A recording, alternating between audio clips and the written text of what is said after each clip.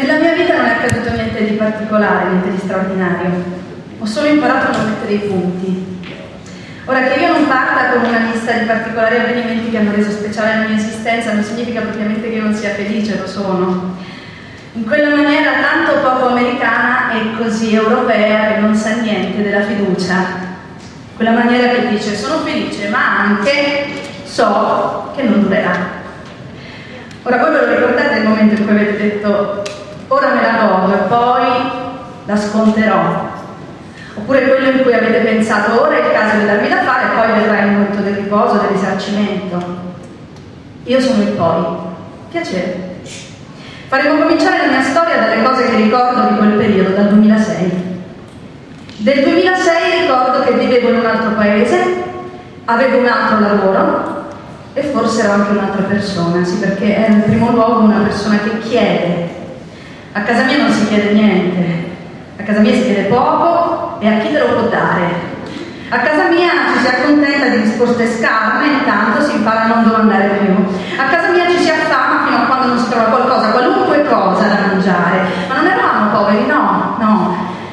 Non è mica una condizione necessaria per avere fame, per quello basta essere molto molto incazzati, tipo da tre generazioni.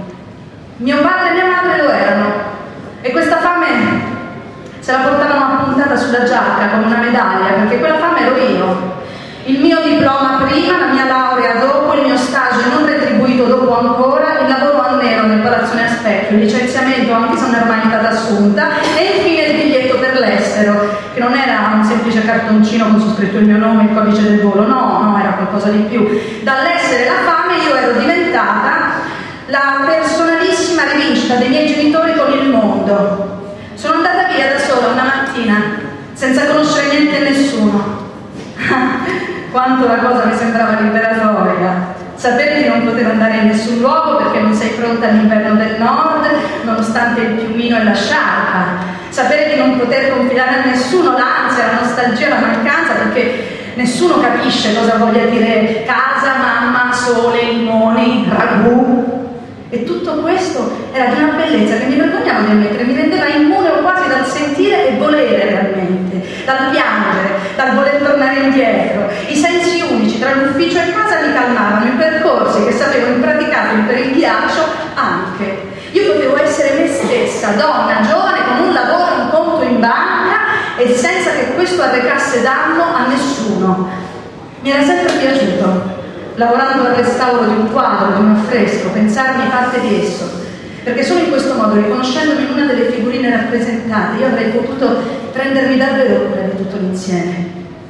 Però c'era in me, fuori dalla targhetta del mio ufficio, una Linda infinitamente più piccola che si vedeva scomparire giorno per giorno e che solo ritrovandosi una traccia dipinta secoli e secoli prima poteva dirsi esistente. In quei giorni il mio viso scompariva dal ritratto cui stavo lavorando. Anche l'arte, che credevo non volesse altro da me che essere vista e tutelata e ricordata, ora pretendeva qualcosa, pretendeva che io scegliessi. Mio padre ha lavorato in fabbrica per quasi 30 anni e per quasi 30 anni ho avuto lo stesso posto, lo stesso ruolo, lo stesso reparto. Non era stato lui a stancarsi, è stata la fabbrica a stancarsi di lui. Non è stato lui a fare una malattia, la malattia è venuta lo stesso. Ecco, allo stesso modo io, che sono passata nel corso di 30 anni dalla cassa dei supermercati, agli scavi archeologici, alla guida turistica, alla stagista in un museo, credevo di aver lasciato il mio, il mio paese, invece era stato lui a mollare me. Il mio paese cosa porta addosso di me? Quale cicatrice vi ho lasciato, a parte la mia assenza? Mi ha fatto venire Susanna con un certo carattere, una certa preparazione e poi mi ha detto grazie, tutto bellissimo, ma non ci interessa come uno che non può permettersi di avere un'auto fuori serie anche nel caso gliela regalino. Io per tornare cosa avrei dovuto fare di me? Una utilitaria.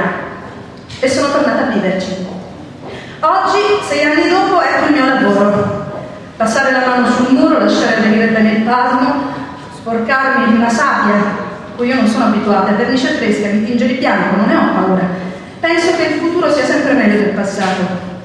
E quando il capomastro mi guarda e ride, ecco proprio allora, mentre i ragazzi mangiano pane e mortadella poco lontano da me, mi viene in mente che è come andare ad un funerale, però vestita di bianco, certa di chissà quale grande legge che salva la bellezza ovunque e sempre.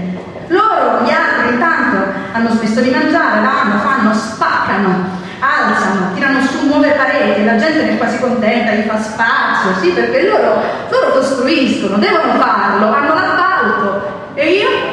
E io voglio spiegare quello che faccio io.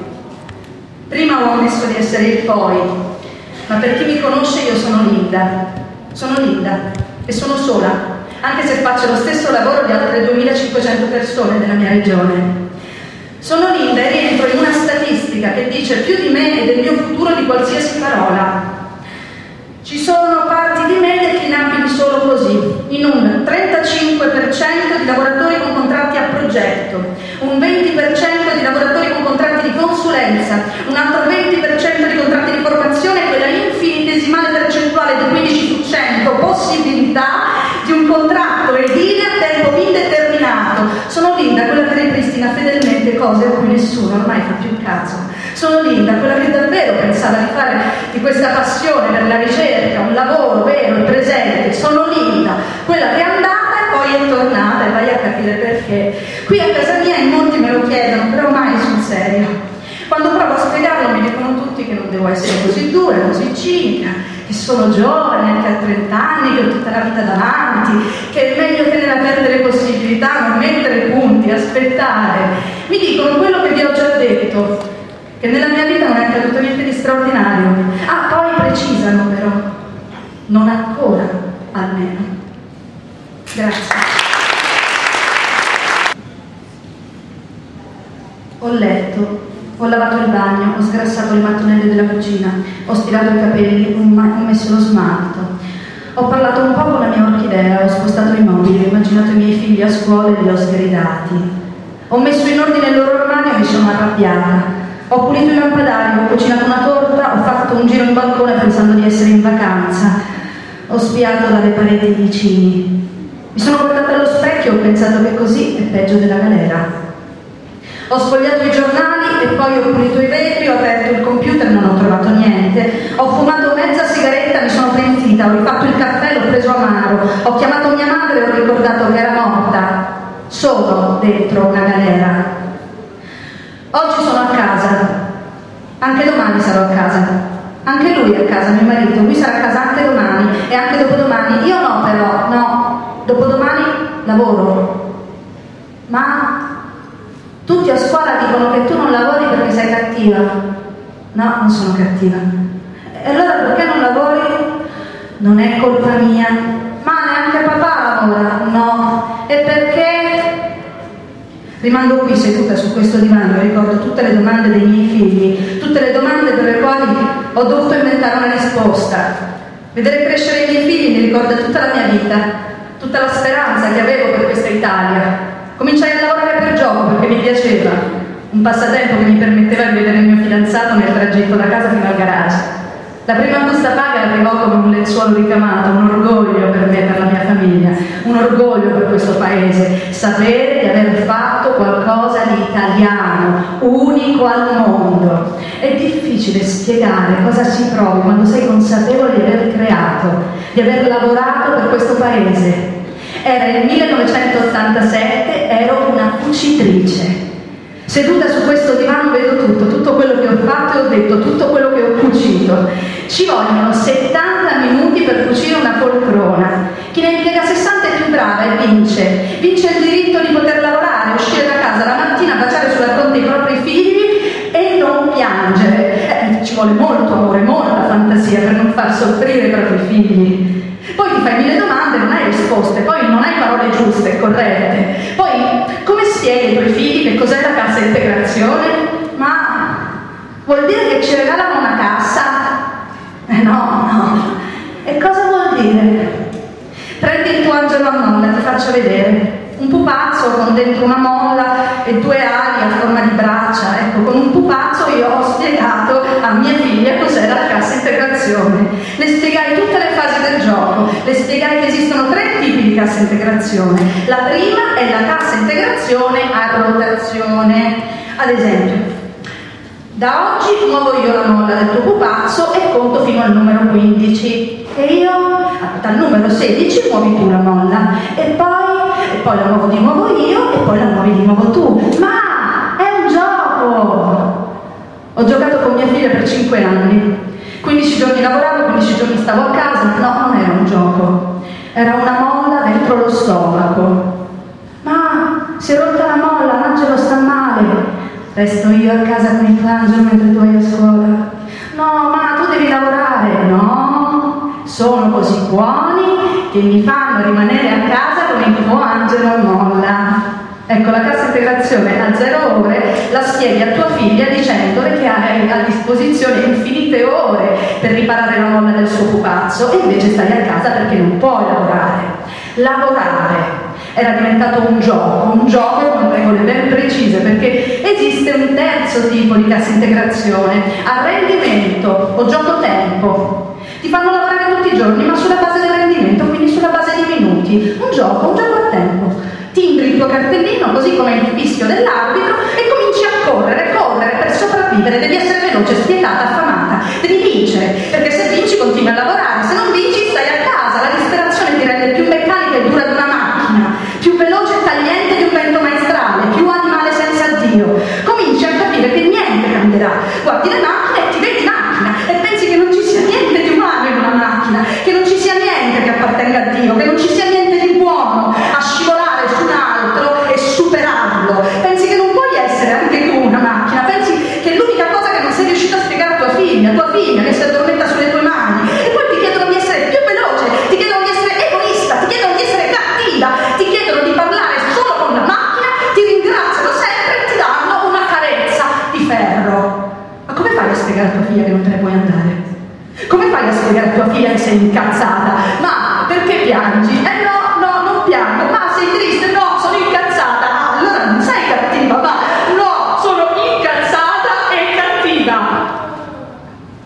Queste mani non mi piace cucire, rammento, ammendo, voglio riparare per i miei figli, voglio lottare per il loro futuro, non voglio essere una macchina, voglio avere i miei diritti, voglio poter spiegare ai miei figli come come si vince a fianco di questo paese. Io devo urlare il diritto del lavoro, quello della speranza, continuare a dare fastidio, ad incazzarmi, ad essere scotta e cattiva. Devo continuare ad essere una donna di questo paese, devo imparare come Antigone ad essere anarchia, imparare che si può anche morire per essere umani. Cassa, esubero, indotto, parole difficili, siamo in attesa da troppi anni e le parole sono sempre le stesse, politica, Italia, lavoro, parole. La prima volta che ho incontrato un giornalista me lo ricordo, lui mi guardava come un ago cannula, io lo guardavo come un ago aspirato. Eh, lei mi sta dicendo che non vuole andare via? No, no, le sto dicendo che questa è la mia vita. Ma scusi, come può dire che un lavoro, una macchina, un'azienda è la sua vita? No, sono le mie mani su quella macchina. Ma per questo paese lei è solo una donna in cassa integrazione? Sì, ma sono anche una madre in questo paese. Ma da qui a sei mesi lei non avrà più un lavoro, cosa farà? Si fermerà? Senta, lei lo sa, lo sa che non sta parlando con una macchina? Ma, ma perché non lavori a nero? Chi ti ha detto questa cosa? Pasquale dice che sua madre lavora a nero. Poi cosa dice Pasquale? Dice che sua madre è sempre stanca e che i soldi sono sempre pochi. Ci sono ancora lavoratrici, pur essendo in cassa integrazione, lavorano a nero. La mamma di Pasquale è un esempio, un esempio di disperazione. Cioè, gente che ha vergogna di chiedere aiuto alla Caritas e preferisce andare contro la legalità. Ma è disperazione, io non riesco a chiamarla in un altro modo, non me la sento, non voglio giudicare il dolore. Gente che è tornata dalle ferie, ha trovato i cancelli chiusi. Io forse sono stata più forte, più fortunata, più incazzata semplicemente. Continua a giocare con il nemico, gente che pur di lavorare ogni giorno scende in piazza a vedere cosa c'è da fare, se c'è qualcosa da fare, si reinventa, si accontenta, si umilia, si dà al lavoro nero. Questo non è accettabile in un paese che si dichiara cattolico e civile. Ci deve essere lo stesso livello delle cose, deve esistere un diritto insindacabile che non ci faccia morire di disperazione. Noi non moriremo di disperazione. E di cosa moriremo? Ma di sogni. Ma, ma tu hai paura? Sì, io ho paura. Per te. Ho finito. Ho quasi finito il mio lavoro. Ho spostato un po' il cuscino perché avevo male alla schiena, ho alzato lo sguardo ma non c'era nessuno. Ho visto il filo che si muoveva dentro l'ago che rimaneva fuori, ho continuato a manovrare i punti sulla pelle, ho provato fastidio e dolore, ho continuato ad accarezzare la pelle come conforto, ho premuto con i pugni, ho stirato le mani dove potevo, ho pianto come un punto liscio, ho sentito le urla in un pozzo, ma non ho alzato lo sguardo, mi sono alzata però, ho fatto una pausa, ho preso un bicchiere d'acqua, mi sono riseduta. E sono ancora seduta su questo divano